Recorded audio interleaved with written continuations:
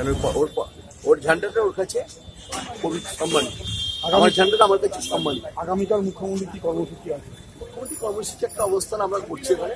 এখানে মাননীয় মুখ্যমন্ত্রী আসবে। আপনি জানেন যে একটা অস্থির পরিস্থিতি। হালি শহর কাঁচাপাড়া বইয়েটিকে তৈরি।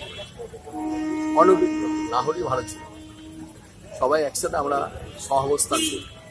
রাজনৈতিক মতবাদ প্রতিষ্ঠিত হতেই পারে কারণ কেউ কোনো রাজনৈতিক কথা বলতে পারে কিন্তু আমার বাকরুদ্ধ করে দেয় আমাকে যাবে না। আমরা এখন ক্ষমতায় আছি। মুখ্যমন্ত্রী না মমতা বন্দ্যোপাধ্যায়।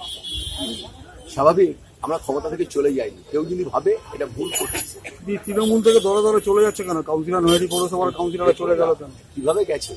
কাঁপতে কাঁপতে তারা ট্রেনে উঠেছে আর কাঁপতে কাঁপতে ট্রেন থেকে নামছে। বুঝতে পারলে? আনন্দ উৎফুল্ল দুদিন হয় সাময়িক।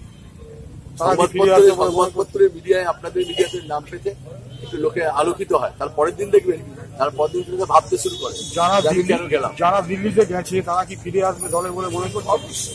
প্রত্যেকে ফিরে আসবে। এর থেকে জেট ফিরে আসবে। আমি আপনাকে বলে যাচ্ছি কেউ মানসিক ভাবে যায়নি। আমাকে প্রত্যেকে ফোন করছে। ফোন করে বুঝি কষ্টে কাঁদছি। যখন খাচ্ছি ওখানে কাঁদতে কাঁদতে কাঁদতে খাচ্ছি। আমরা মমতা ব্যানার্জি ছিলাম আছি থাকব। মমতা ব্যানার্জি আমাদের প্রাণ। মমতা ব্যানার্জি আমাদের স্বপ্ন। মমতা ব্যানার্জি আমাদের হার্ট আমার রক্ত। কি কর্মসূচি আছে?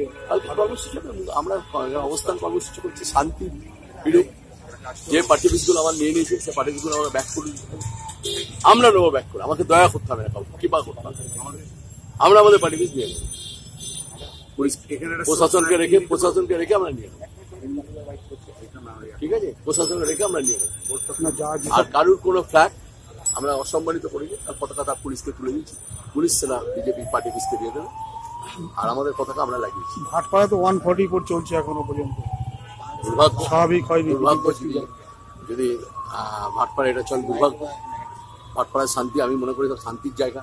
ভাটপাড়া পণ্ডিতদের জায়গা। ভাটপাড়া শিক্ষিত মানুষের বসবাস।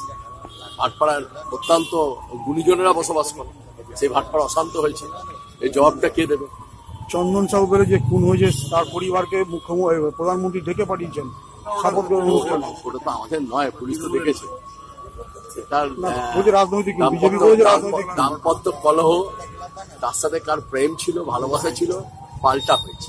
না বিজেপি বলছে রাজনৈতিক খুন। বিজেপি বলতেই পারে বিজেপি সবই রাজনীতি কোন দেখছে। বিজেপি রাস্তায় যে পড়ে আছেন মারা গেছেন তিনিও দেখছেন। হসপিটালে যারা প্রতিদিন মারা যাচ্ছে হয়তো।